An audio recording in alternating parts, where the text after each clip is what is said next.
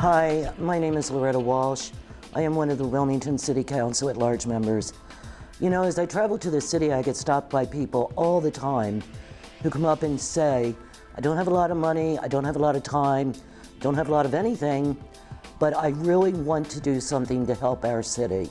Is there anything that you can suggest to do? And I think there are a couple things that, as a resident of our city, that you can really do to help us out. Number one, teach your children and teach yourselves don't throw trash on the street. Don't throw trash in front of your house. Use your recycling. And when you do see trash in, your, in front of your house, even if it wasn't caused by you or a family member, have enough dignity to pick it up. Because whether you threw it there or not, it's a reflection on your household.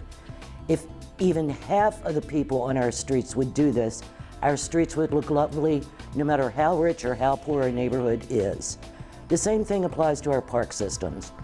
Many, many times you go there early on a Saturday morning and our parks look lovely. People come and have picnics or they just come to hang out, to read a book, and they leave their soda cans behind, they leave their drink glasses, they leave all sorts of trash. Messy diapers, anything you can think of are left in our parks. I often wonder to myself, people that leave this stuff on our streets, who do they think is there to clean it up? So the next time somebody wants to complain about high taxes and things you don't get for them, just remember the government can't pay for everything. And we can help our government out by just leaning down, picking up a piece of paper, and putting it in a trash can.